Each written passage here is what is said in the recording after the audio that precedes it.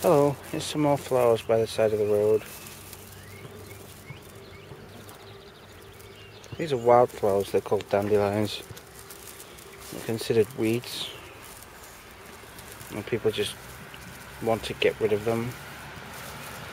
Usually if there's a, a load of dandelions growing in your garden, then you would want to get rid of them.